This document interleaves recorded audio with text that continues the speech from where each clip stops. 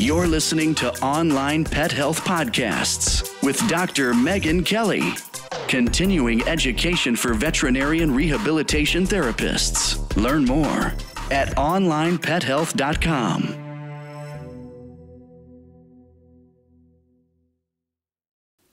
Hey, vet rehabbers!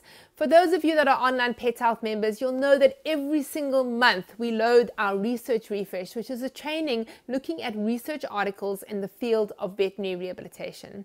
So this month we got one of our favorite lecturers, Carrie Adrian, to help us out with our research refresh. So she looked at multiple research articles, all focused around the topic of cryotherapy.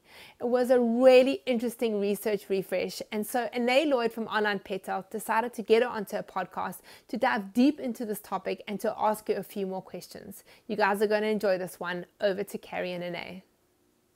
Hi, Carrie. Thank you so much for joining us today. Thank you, guys. So, Carrie, you've just recorded a research refresh for us on cryotherapy, which had me sitting on the edge of my seat. So, would you please tell our listeners a little bit about what they can expect from watching this research refresh? Sure thing. Well, I I don't know about you all out there, but I, I think with all this COVID stuff going on that we're all kind of scratching at the window and and you know i'm on my fourth cup of coffee on a friday morning and to sit and pick an article and have to go through it you know word from word and and quite frankly it can be a little dry right gang?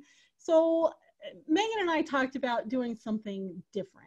Um, to me it's a little bit more clinically meaningful to take the last 20 years of literature and to really review it. And, and something that I talked about in the, the webinar and the, the research refresh is, you know, I think, I think we get a little complacent when with our clinical practice. You know you're trying to get through the day you've got 10 12 14 patients you just need to get through it. So we do we end up doing um, what's comfortable whether it's right or wrong. So what Megan and I discussed is, hey, let's let's look at everything and see how we can apply this clinically. That may actually change our perception of the way we treat our patients. So when it comes to review of the literature, it's not just one article. You know, I don't, for me personally, I don't get a whole lot out of the journal clubs. We've all sat through them you know, probably doing five other things while we're listening in the background. I get it.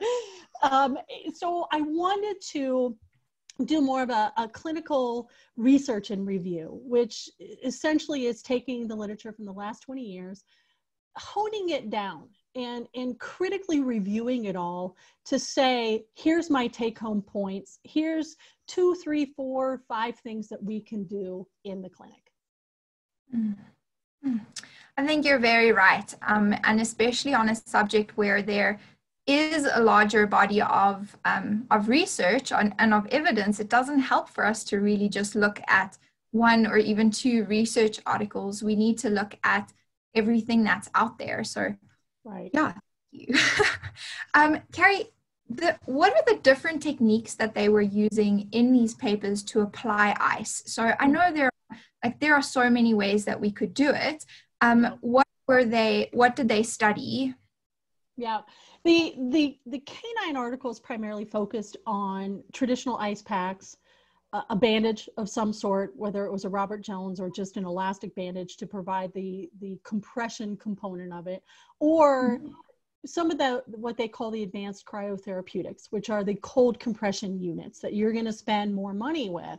So they can be thousands of dollars versus you know, a $5 ice pack that you can print your name and, and logo on and sell it to a client. So those are mm-hmm. more of the traditional types of techniques. I didn't see a whole lot of um, uh, immersion, uh, you know, cold baths, um, mm-hmm. the the ice application. I didn't see a lot of, of those. The majority of it was a standard ice pack or your cold compression therapy units. Okay. Okay.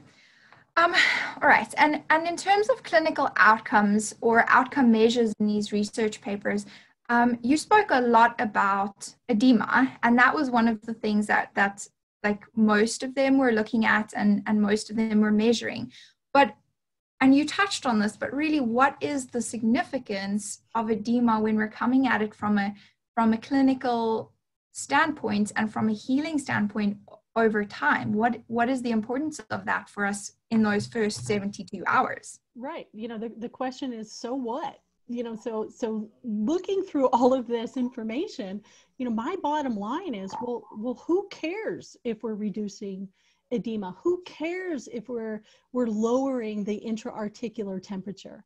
And hmm. so for me, it was a bit of a smack in the face, like, ah, yeah, that that makes total sense. That you know, if if we're seeing a reduction of swelling, well, well, what does that mean clinically? You know, does that mean the dog's range of motion is improved? Does that mean this dog is going to ambulate better or faster, or the lameness score has has dropped?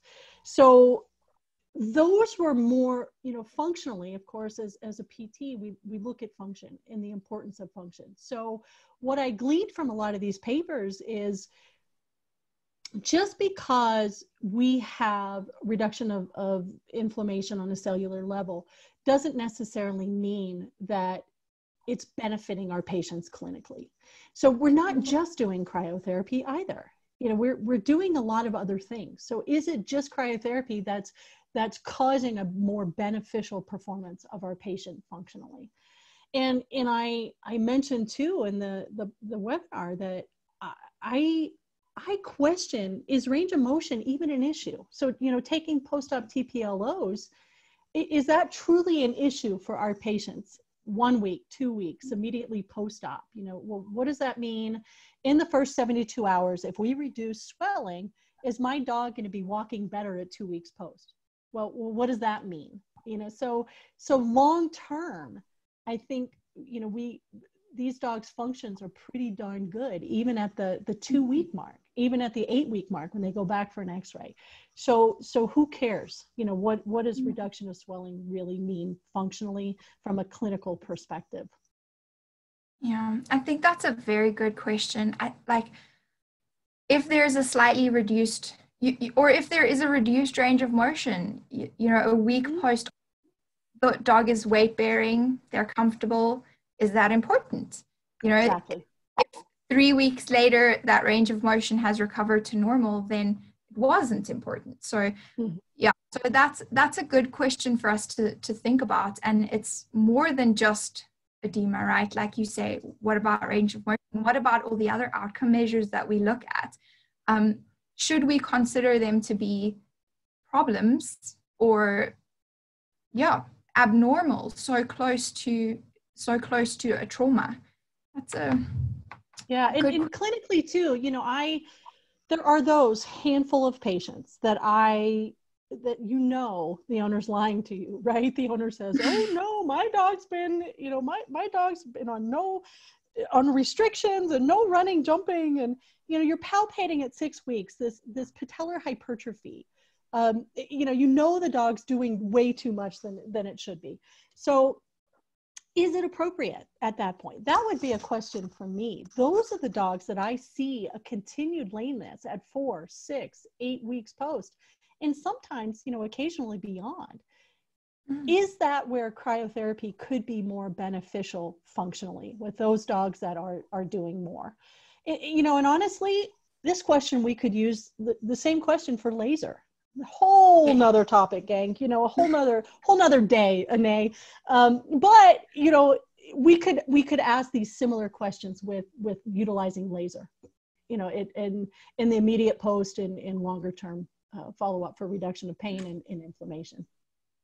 Yeah i agree with you. It comes it comes down for me to inflammation right? Inflammation is part of the healing process and the healing timeline and it's not a bad thing unless it's completely created. Yeah. So, um, yeah, I'd love to speak a little bit about inflammation, and you do touch on that, but where do we draw the line between the advantages of inflammation and the advantages of icing to mm-hmm. inhibit a little bit, tone it down a little bit? Where do we draw that line? Yeah, I, I think that's a great question. And it's still, you know, in my mind, it's still for the most part unanswered in in our canine mm-hmm. patients you know if you consider some of the recommendations now in the human field, they're saying use it for pain only and use it within the first 72 hours. Period. So it's a whole different perspective than what it was 30, 40 years ago, or, you know, even when I went through PT school. Yeah. So it, it, there was a bit of an eye opener. Yeah.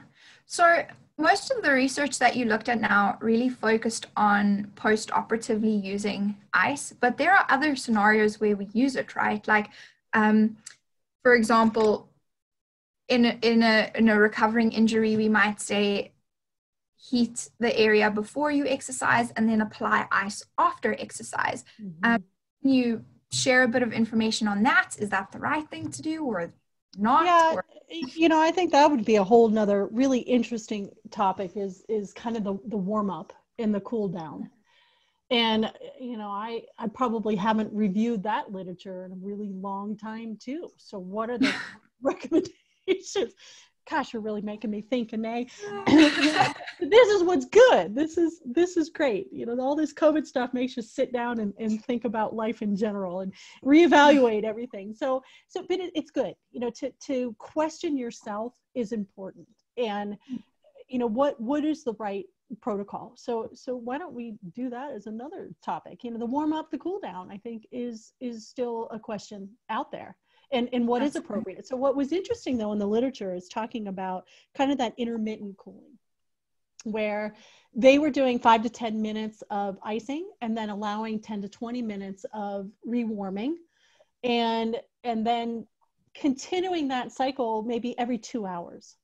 Um, so that was kind of an intriguing perspective as well. Maybe we should be changing our protocol in the icu you know immediately post-op so you know again no no right or wrong answers with that but definitely changes your perception a little bit yeah yeah the protocol for icing is like one of those things again where what is the right answer how long should you be applying it yeah. Yeah. how often should you be applying it um yeah. yeah and we don't really have those those answers do we no and, and i would say you know from from Dr. Mirkin, you know, they're saying use it within the first 72 hours, but you know, frequency, duration, all of that I think is still very questionable.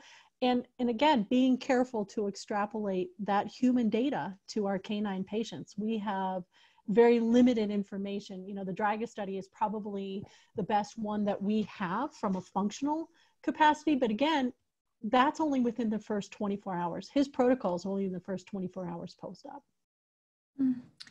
Carrie, is there any evidence that is showing that we shouldn't be extrapolating um, in terms of icing the research that's done on people into animals? Like, is there anything that's giving us a red flag there and saying, hmm, this is completely a different finding?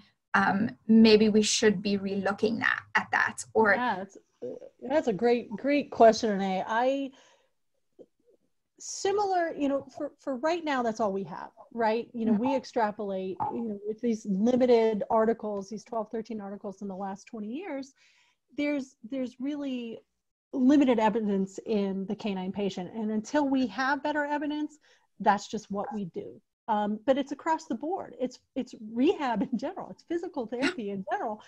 Majority of what we've done except for the basic biomechanics you know of, of tissue and tissue healing um, we have extrapolated from human physical therapy. So why why quit now?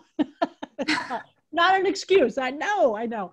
But you know, that's what we do. Remember that complacent slide that I talked about? You know, so so until we have better evidence, mm-hmm. um, nothing stood out to me that raises the red flag. And in mm-hmm. fact, some of these intra-articular temperature studies were done in animal models again, take it for what it's worth. Who cares? You know, what does that mean functionally? Go back to that question. Ask yourself yeah. why.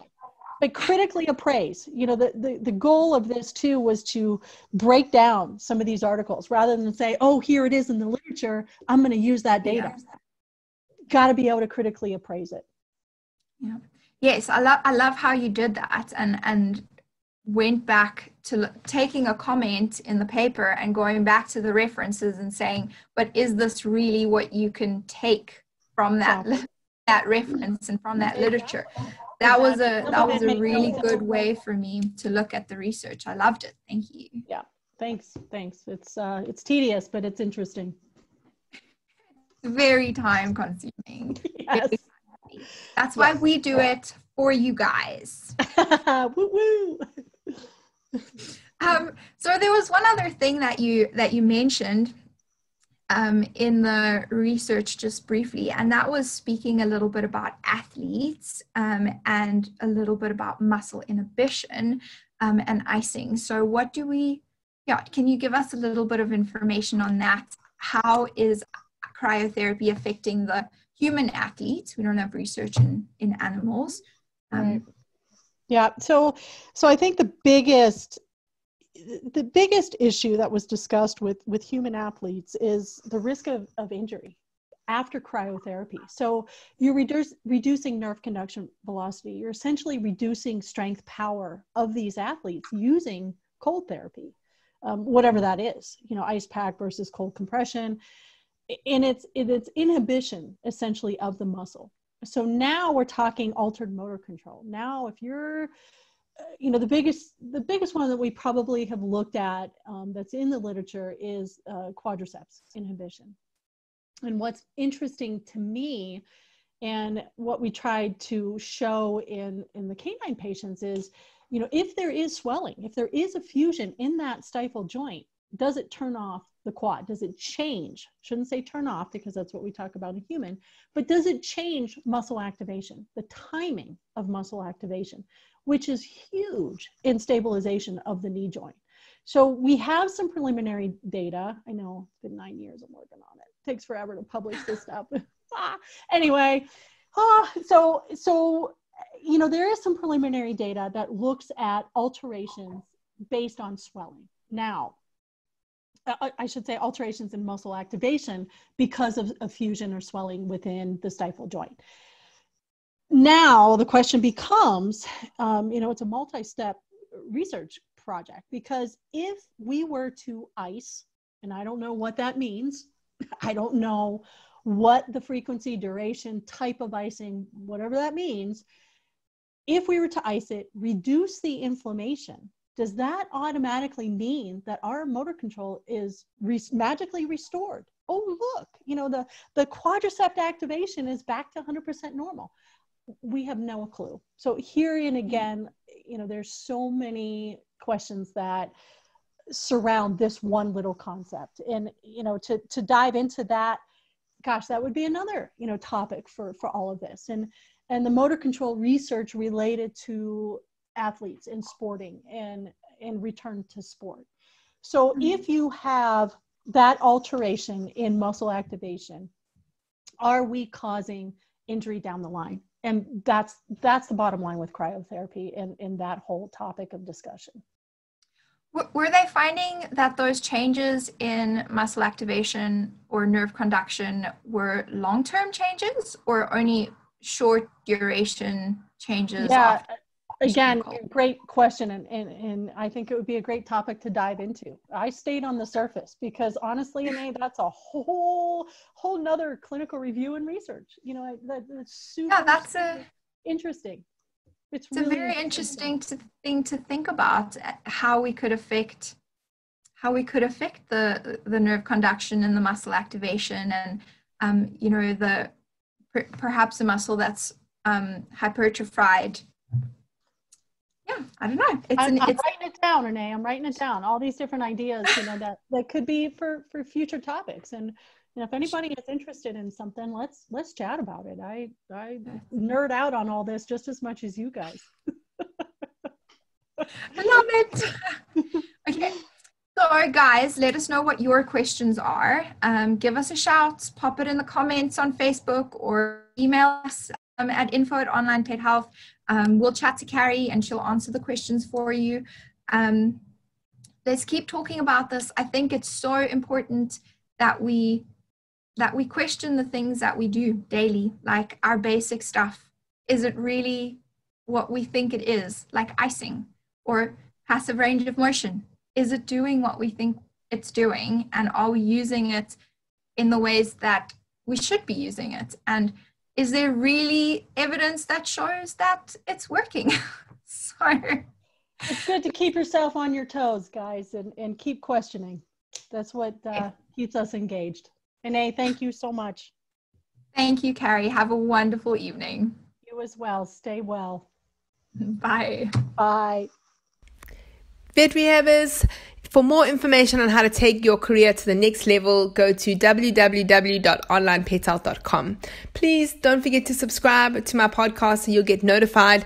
I'm here every single week talking to vet rehabbers from all over the world, learning, and I would love you to join me. Hope you have an awesome day further. Cheers for now.